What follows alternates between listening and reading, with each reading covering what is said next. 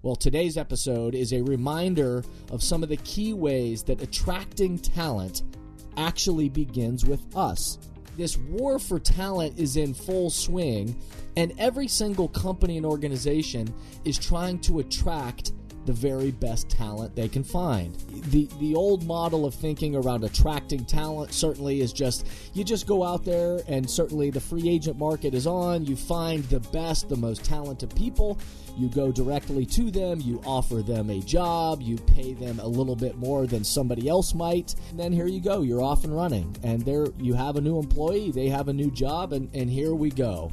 And at some points, maybe in our history, it was as simple as that. Is that they're not just looking for a job, they're not just looking for a place that's going to pay them a little bit more than, than, than another job. They're actually looking for a fit and an attraction to a culture that's bigger than them. Welcome back to The Thermostat with Jason Barger. If you're currently on a commute, a walk, or just a micro break in your day, Glad you're making time to step back, to think, and to reflect on the next steps on your journey. I've never been more convinced. The best leaders and team cultures in the world are the ones that make time to step back and calibrate their thermostat. I hope today's conversation leaves you feeling grounded and inspired. Now let's dive into today's topic to engage our minds and hearts in order to authentically lead and create compelling cultures wherever we are in the world. Hey, everybody, it's Jason, and welcome back to the Thermostat Podcast. Wherever you are or however you're coming to the conversation today, welcome. Glad you're here. So glad to uh, that you're back. If you are new to the podcast, welcome. Uh, if you are somebody that's been here since day one, welcome back. So glad that you are here. I'm glad that you are making time in your day, in your week, in your month, whatever that might be, for you to step back, for you to uh, be able to recalibrate your own thermostat, to be able to step back, to think to hopefully be filled but with some some positive mojo and some messages that are going to help you along your journey wherever that may be in your life and work and thinking about how you move your own leadership uh, in your life again and then certainly with the culture of the people around you that you are uh, you know, uh, part of in your own life, but also certainly in your work. So, wherever you are today, welcome. Glad you are here. I am more convinced of this than ever. As you know, uh, that authentic leadership, authentic leadership is needed in the world today.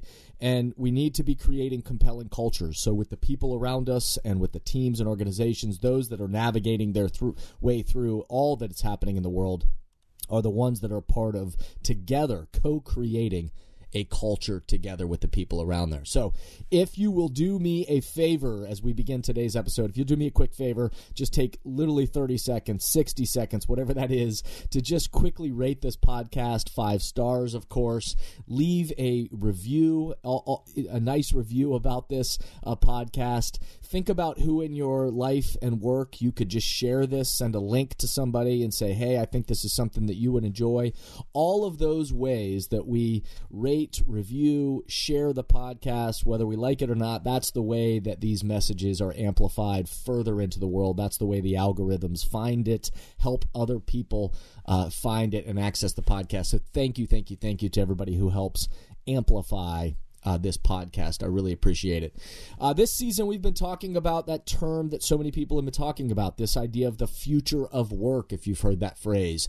And, you know, companies around the globe are transitioning, are certainly uh, with the worker shortage, with uh, the the rate of change, with all of the political uncertainty and economics uncertainty, and a global pandemic, and all the things that we have been experiencing uh, over the the last two years. Uh, the future of work is still being created, and, and many people are trying to guess what that future of work is going to look like. And the reality is, we together are going to discover and create the future of work. Leaders, teams, and organizations are going to create the environments and not just what we do, but how we do the work together. So, in the midst of terms that we've been talking about on this podcast, like the great resignation, like the big shift, these things that maybe you've heard throughout uh, the news and certainly throughout any articles around business, then you know that right now how we navigate our way through all that we are experiencing, the mindset that we bring, how we show up, and how we then align with the people around us is as significant as ever. So, uh, the last episode that, that we just had was a look back at last year's Thermostat Cultures live event, one of the segments that we did from last year's Great Thermostat Cultures live event last year in the midst of the pandemic. It was a fully virtual event, which, uh, you know, was what we had to do, but ended up being exactly what we needed at the time. The voices that we need to needed to hear from, the messages of authentic leadership and creating culture, even in the midst of a pandemic that none of us have ever experienced in our lives, was exactly what we all needed. And certainly the the feedback, the evaluations, the all that that that, that we received from people, uh, you know, echoed that very uh, that very thought. So uh, I hope you enjoyed the last episode. A, a look back at, at, one of the conversations that we had, the conversations that was the the con the, the the currency for change. So conversations that are the currency for change. So today we're going to talk about the keys to attracting talent to your team or your organization again with this term the big shift that is happening right now where 7.6 million people you know in the months of april may uh, up and resigned from their jobs across the united states and this started this big shift this war for talent this this talent kind of shifting from organization to organization that this war for talent is in full swing and every single company and organization is trying to attract the very best talent they can find. They're, of course, they're. I mean, we've always been trying to attract talent, but certainly in the world that we're in right now, every team and organization is trying to attract the best talent they can find to their team and organization. Well, today's episode is a reminder of some of the key ways that attracting talent actually begins with us. Attracting talent begins with you. Attracting talent actually begins on the inside before it even reaches anyone on the outside. So, you know, there's old school thinking uh, where you you know the the old model of thinking around attracting talent certainly is just you just go out there and certainly the free agent market is on. You find the best the most talented people. You go directly to them. You offer them a job. You pay them a little bit more than somebody else might uh, or any of the competition. And then uh, you know you find them uh, and they come in and then here you go. You're off and running. And there you have a new employee they have a new job and, and here we go. And at some points maybe in our history it was as simple as that but as we know, with everything we've been experiencing in the world, and again, the big shift and the war for talent that is on, we know that it is not as simple as that. Every single company that I am currently working with and supporting, uh, every single one of them has a work shortage of some sort.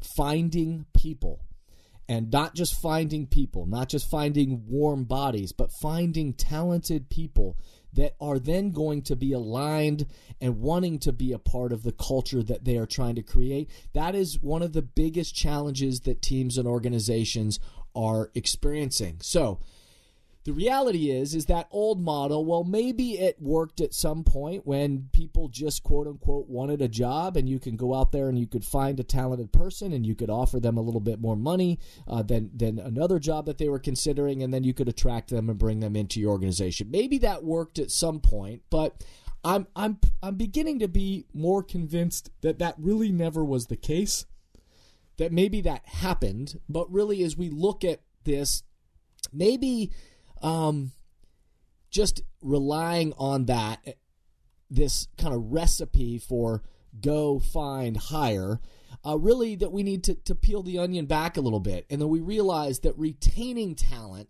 and attracting talent, that it really begins on the inside. That it's about do we have an awareness and recognize the culture that we are trying to create on the inside? We often think that you know we're trying to just uh, find an attractive person and pull them to us but the reality is is that many of the people out there in the world are looking at us and they're looking at you and they're asking the question of is that culture is that team is that organization is it attractive to me? And so today's employee, they realize, and, and again, the research backs this up, that they nine out of every 10 employees that are surveyed say that they would rather take a pay cut. They, they would they would actually opt to take a pay cut to work for a more meaningful culture.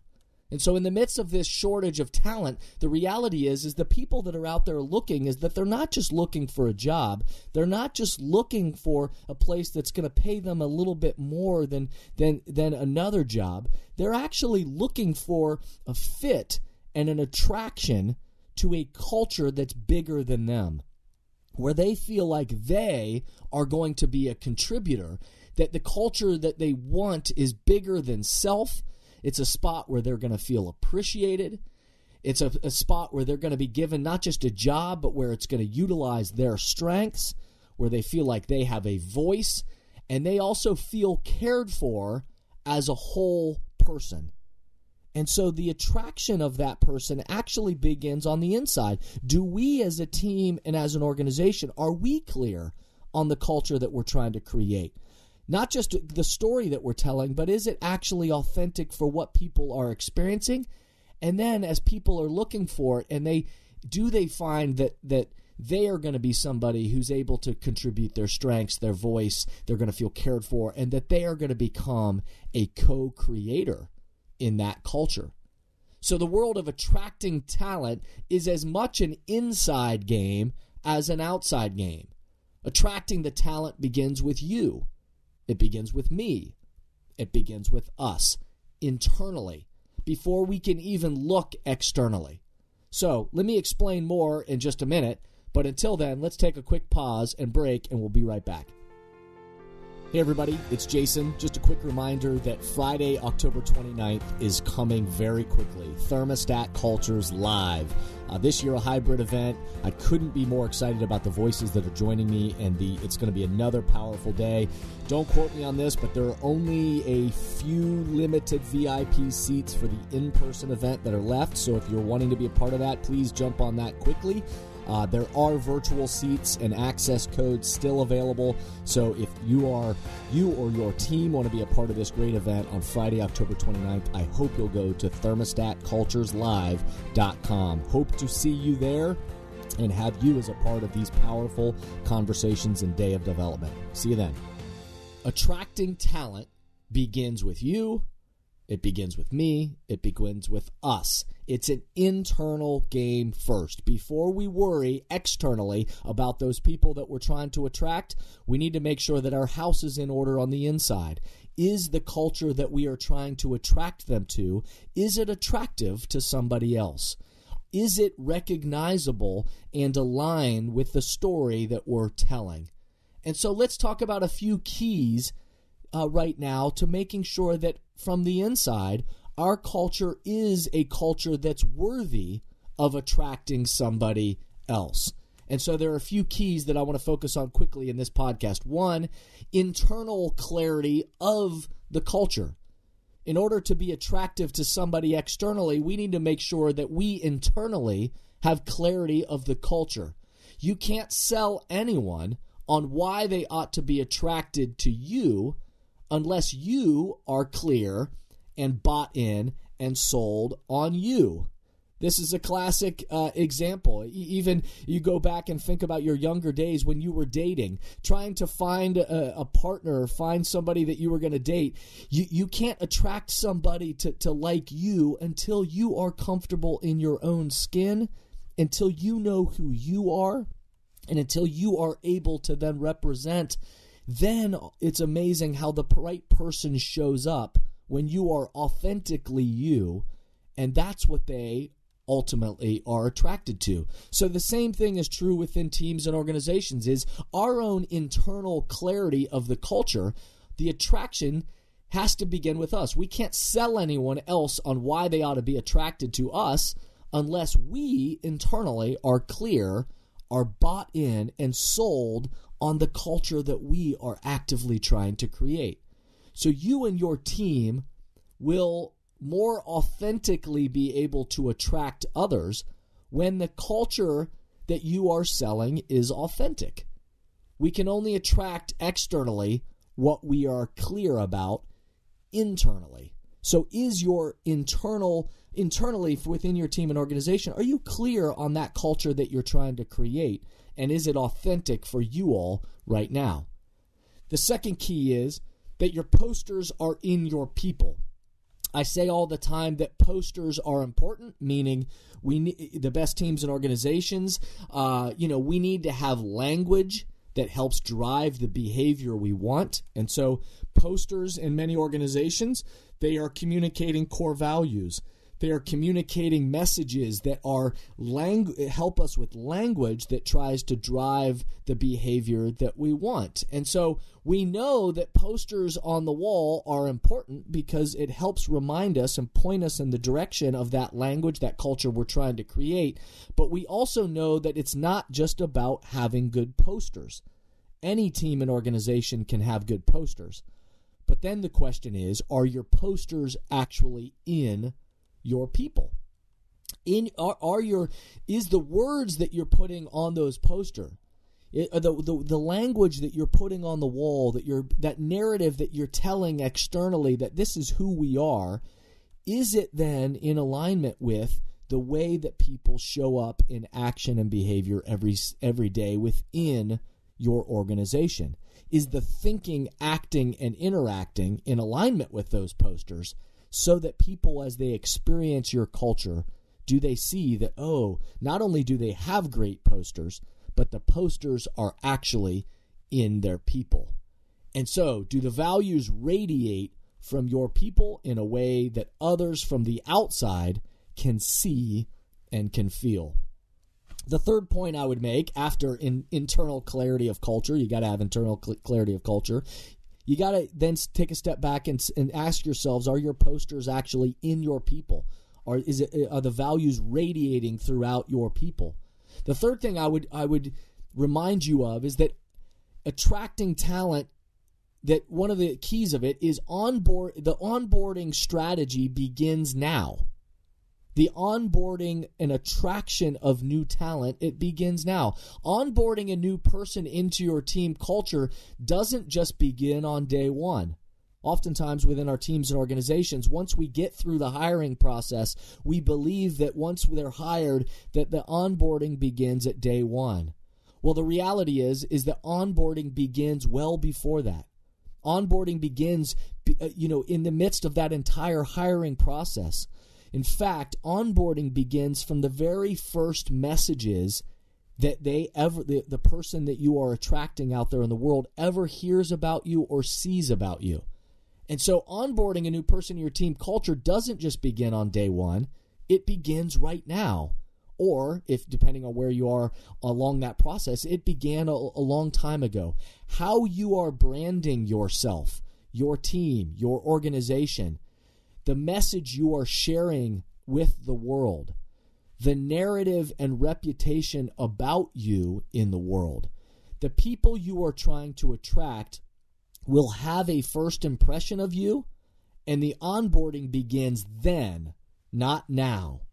And so beginning to think about and making sure that you as you as you think about your your strategy for attracting talent is to to realize that it's an it's an inside job first, meaning we have to have internal clarity on the culture and on who we really are before we can even sell anybody else on that. We need to make sure that internally that our our posters aren't just good posters on the wall, but our posters are in our people and the values are radiating throughout our people we need to realize that the messages, the branding, the story, the narrative that, that we, not only we are telling out in the world, but hopefully others are telling, that that's really where the onboarding be- begins, is that first impression that we're having. So, what is the first impression we are sharing with people? Because at that first impression is when the onboarding actually begins. And that's where either the people that we are trying to attract take one step closer to us or when one step further away from us. And then the fourth and last key uh, reminder that I have for today in terms of attracting talent in the world today is that we have to adopt a whole person mentality. A whole person mentality. Research continues to tell us that people don't just want a job and don't just want pay. Time and time again the research is telling us this that that even when people tell us yeah yeah I just want a job just tell me what to do get out of my way and let me do it or they say I just need you to pay me so uh, pay me a fair wage and I'm good that's even when people say that that's not what the research says the research continues to tell us that people don't just want a job and don't just want pay they actually want a place where they can be a part of a meaningful culture that is bigger than them, plays to their strength, a place where they have a voice and they can contribute. They also want a place that cares about them as a whole person, not just a number uh, or a job description or a statistic as a part of a bigger organization, more and more in the world today, people want to recognize and want to feel like the company and the organization that they are partnering with, that the organization itself, the leaders, the team is actually partnering with them as a whole person, a human being, which means that they actually care for do you have yes those those uh, you know non-negotiable things. Like do you have a fair wage? Do you have then roles and a role and a responsibility that we're asking you to play? Of course those are the non-negotiable parts of it. But do they do they also have a care for you as a human being? What are your interests as a person outside of work what is your family structure or that vision you have for your own life and how we can help support you to yes do a great job for us and the mission that we're trying to to uh, to accomplish together, but we also recognize that we want to support things you care about and things that are important to you. Uh, they want to they want to know that the organization that they are working for cares for them as a human being thinks about how can i support you develop you raise you up so that you can continue to develop as a human being and therefore be better at your performance along the way. The best cultures are attracting people by their ability to listen to them, to think creatively, uh, to think creatively about role function and responsibilities and aligning their, their gifts and strengths in creative ways, and find ways to support, quote unquote, the whole person kind of thinking, which means listening, actively beginning those conversations about what your employees and your team members care about. And then, by the way, it, you know, all of this often leads to better performance. So, taking that whole person mentality from the beginning begins to be, build a more authentic relationship with your people and begins this uh, that the goal isn't just to cross things off your to do list or just your job function, but actually it's to develop and help support you as a human being. And oh, by the way, all of the performance metrics and measures typically follow. So, attracting talent actually begins with you. It begins with me. It begins with us. It's an inside game first. And it means we have to have these key reminders that we need to have internal clarity of the culture that we want to create together. We need to, to think about are our posters in our people? Are the values radiating throughout our team and throughout our organization? We need to think about that onboarding strategy begins now. Our onboarding strategy begins now. So, what's the narrative? What's the reputation? What's the brand that people are experiencing out in the world? Because that's truly when the attraction will either begin or will begin to disappear. And then, lastly, we need to embrace that whole person mentality and begin the conversations about our job as an employer isn't just to give you a job, a task, and then expect you to, to hit performance. Our job is actually to bring you in so that you are a co creator in our culture. We are partners with you for your life and developing you. And oh, by the way, together we're going to raise the bar and the standards on your performance but it starts with having a whole person mentality. Calibrating our personal thermostat for our own awareness and our own response, and, and calibrating our social awareness and relationship development as a team, it all begins with our thinking, acting, and interacting. We are the thermostats. our own internal temperature sets a temperature externally for others based on our response and our behaviors. So, attracting talent actually begins on the inside of how we think about ourselves, how we think about our culture, our team, and then what we can radiate externally to those around us. So, the culture can be transformed by how we show up and how we set that temperature and the feeling around us. So, as always, I want to leave you with some questions for you to ponder for your own life, your own work, your own team around you. So, the questions for this week are Is your team or your organization clear on the inside? Are you guys clear on the inside of the culture that you are trying to create and sell externally?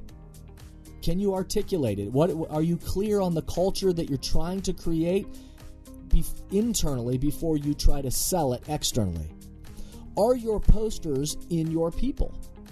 Are your posters in your people? Not just do you have posters and clarity around the values that you hope to drive the behavior that you want, but are your posters in your people? What are the stories, the narratives, the first impressions that you are giving to the external world? And are they the stories, the narratives, the first impressions that you want? And is your culture only focused on a job task or function or caring for the whole person and performance? Caring for the whole person and performance. Thank you for tuning in today. I hope you'll keep tuning in. On the next episode, we're going to be talking about the role of leaders and employees. In fact, I'm going to be I'm going to be sharing a love letter to both leaders and employees, and with uh, a message of how you can help each other, leaders and team members, leaders and employees, contributors. How can you help each other? How can you how can both perspectives from that leadership perspective or that teammate or contributor perspective how can you help each other in this changing world? Remember, the best leaders, teams, and cultures on the planet continue to stimulate progress by recalibrating their thermostats together. Thank you for listening to today's podcast, and I hope the messages and questions stimulate positive change along your path. As always, if these messages resonate with you and add value to your life, I hope you'll help amplify them throughout the world. Please rate, comment, and share on whatever podcast or social media platform you're using. And share this podcast with the people in your life or work who should be part of these conversations. That way, this spirit does, in fact, spread. If these messages or developing leaders and culture would be helpful to your organization, or you have a question or comment about this podcast, please contact us at jasonvbarger.com. And remember, we all are ambassadors for the culture we want to create in our life and work. We have to own the vision we want to be a part of. The future of leadership is you, is me, is us. Be a thermostat.